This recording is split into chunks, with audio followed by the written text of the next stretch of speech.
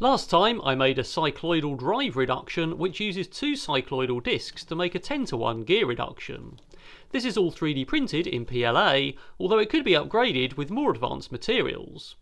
I did quite a bit of testing, including lifting heavy weights and making a crazy jumping robot leg, which eventually destroyed itself but left the cycloidal drive reducer intact. My aim was to make something more compact and which will give us a better than 5 to 1 belt reduction ratio I'm currently using in OpenDog version 2. However, we really want something around 10 to 1 reduction so that the drivetrain can be back driven and give us natural spring in the joints to make dynamic robots, using the motor driver holding power as a virtual spring. I'm pretty happy with the cycloidal drive I developed, although there are a few improvements that could be made which I detailed at the end of the last video. However, I've been looking at other types of innovative drive reductions, and this time I'm going to attempt to make a 3D printable strain wave reduction or harmonic drive. A strain wave reduction uses a flexible spline which is deformed by a wave generator attached to the input of the drivetrain. This runs in a ring gear with teeth facing inward and slowly rotates as the wave generator deforms it. There are already a few videos on YouTube about 3D printed strain wave reductions. Simon Merrett did some development a few years ago using an inside out HTD profile belt as a flexible spline. This is pretty successful and there are a few good videos in Simon's channel to check out. However, development seems to have gone as far as it could using a drive belt, and as far as I can tell from the videos, this is because the tooth profile of an HTD belt is round, but Simon comments that ideally we need more of a triangle shape for efficiency and smooth movement in general. It's possible to 3D print flexible materials though, which I've done a lot of in the past, mainly to make tyres for vehicles and robots. So what about if we could 3D print a custom flexible spline? With a bit of trial and error, I designed and printed a ring gear and a flexible spline with triangular shaped teeth, and a wave generator with two bearings on it. This seems to run pretty well. The reduction ratio of a strain wave reduction is the inner teeth minus the outer teeth divided by the inner teeth, which in our case is 40 minus 44, all divided by 40, which is 0.1 or a 10 to 1 reduction. This is the same ratio as the cycloidal reduction I built, so we can compare the two. So let's print some better test pieces.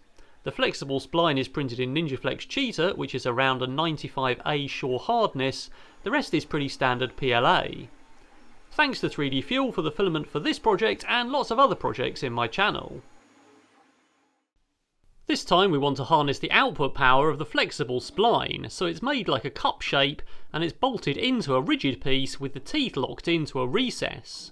Both pieces are also bolted together with some M4 bolts and lock nuts.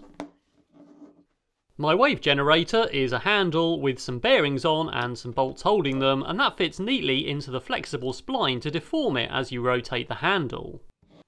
That all fits into a casing and now you can see that strain wave motion as I move the wave generator.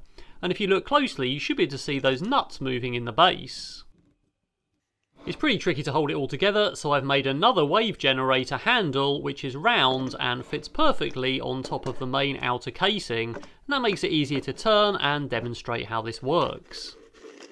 So I do have to hold it together at the moment because there's nothing holding everything together and it will ride apart otherwise, but you can see as I turn the handle that we get the output moving in the opposite direction at a 10 to 1 ratio. With either of the wave generators inserted though, it's almost impossible to backdrive unless we actually flex the casing or the flex spline so that it skips. This is a complete contrast to the 10 to 1 cycloidal drive, which easily rotates even with the motor attached. Now it's time to make a new version which we can mount everything on bearings and somehow hold all the sections together so it doesn't ride apart, and also power the wave generator with a motor and harness the output for testing.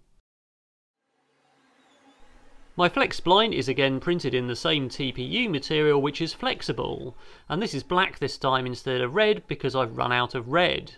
The rest of the casing and all the other components are going to be printed in 3D Fuel standard PLA. If it works in PLA then it can always be upgraded to another material in the future, but using standard 3D printable materials makes it really accessible to anyone else who wants to build one. And all of this CAD is going to be published as open source, and you can find that in the link in the description to this video. This time my outer casing, which has the inner facing teeth, has a large bearing fitted into the top And that is of course where the output mounts, which plugs neatly in there. And that output is going to hold the flex spline. The flex spline is of course flexible and that again mounts into the output and that fits in with all of those teeth locked in all the way around. That plugs in neatly to the outer casing and fits into that big main output bearing and it rotates fairly freely without the wave generator fitted. Again the flex spline and the rigid output piece are bolted together but this time I've put the bolts facing outwards so we can attach something to it. I'm using the same motor that I used with this cycloidal drive because I can't buy any more at the moment, and this holds the wave generator. The base of that is a 3D print with three captive M8 nuts in it, so we can screw that onto the motor and screw everything on top. All assembled, it looks like some bearings spaced with washers, and another piece on the top to brace those apart. In the middle, there's another captive nut, and that allows us to put a further bolt in which will go all the way through to the output.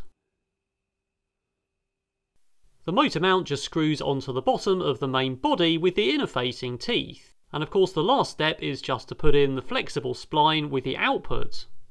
Now to hold everything together, there's the extra bolt which goes in the middle and that's again mounted on a bearing which is in the middle of the output disc.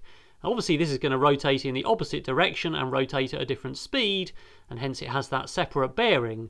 But putting that bolt in is going to hold everything down so the whole mechanism doesn't ride apart in use. Now it's time for a quick ad from the video's sponsor, which is Fantom Wallet. Fantom Wallet is available in a number of sizes and finishes. There are two lineups, Fantom R and Fantom S. Fantom Wallets include a special mechanism that fans out your cards for easy access. There are lots of accessories for customization available which attach to Fantom Wallets such as a coin holder, money clip, key holder, a multi-purpose silicon band, ID holder and tracker.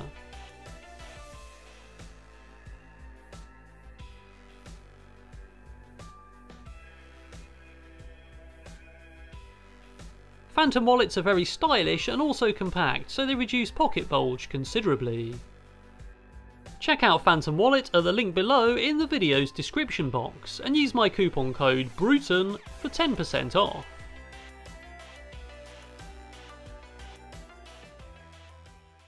For basic testing, I'm just using the same old LiPo that's got tons of juice, a VESC which is actually meant for skateboards, and an Arduino in a box so I can feed it with a signal. And that seems to run the motor perfectly well, and everything seems to run really smoothly.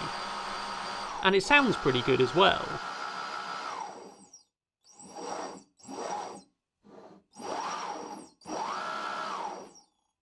This time, however, I can actually stall the motor with my hand, which I couldn't do with the cycloidal drive, although I'd imagine there's already more friction on the motor here due to having to deform that flex spline.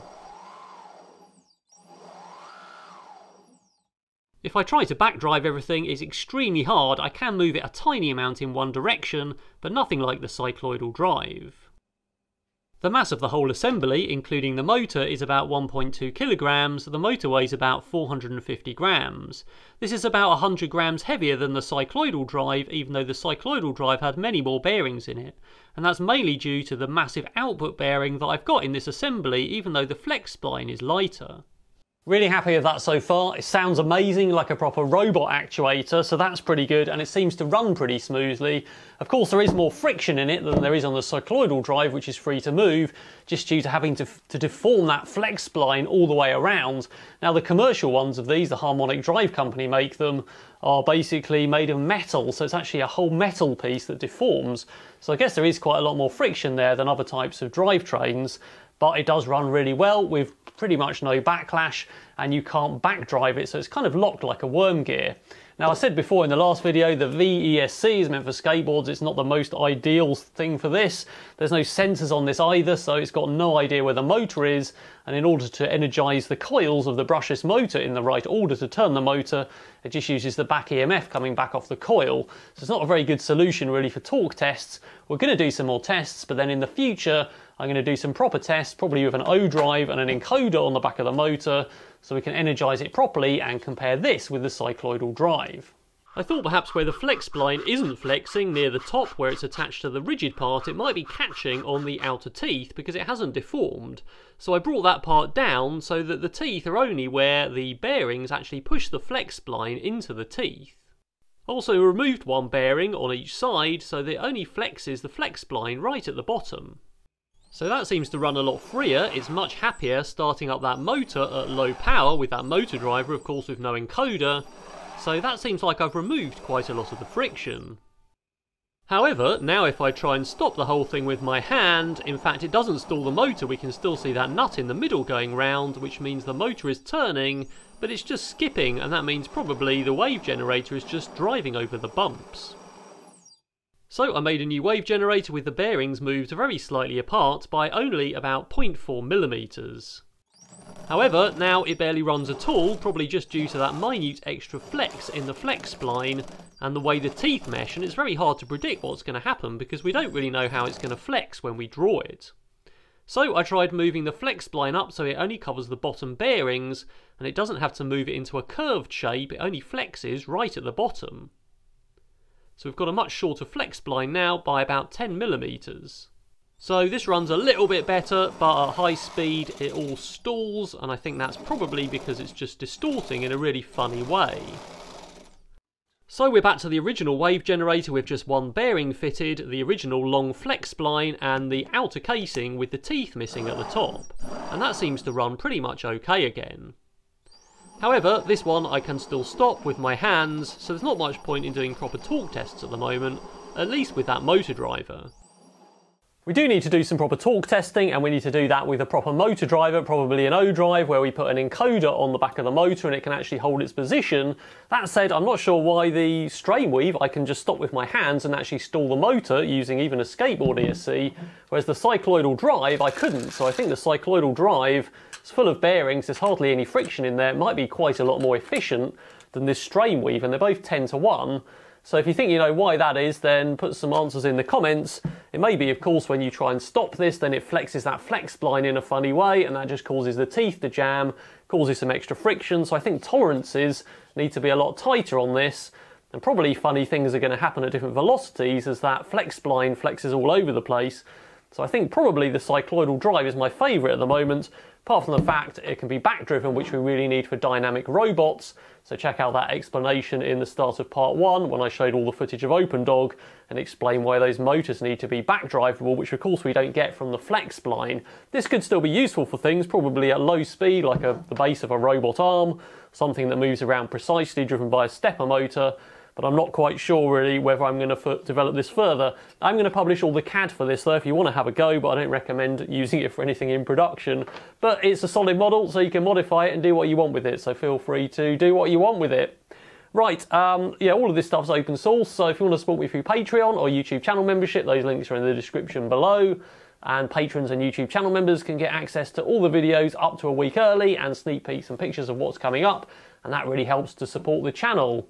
So next time we are going to do some proper torque tests, probably going to do some more resilience tests on the cycloidal drive as well, um, and actually try and destroy it. It's all PLA at the moment, and obviously that could change, but I think that's the one going forward for robot dog development and probably lots of other things, just due to the fact that I've designed both of these by eye, this one runs a lot more efficiently.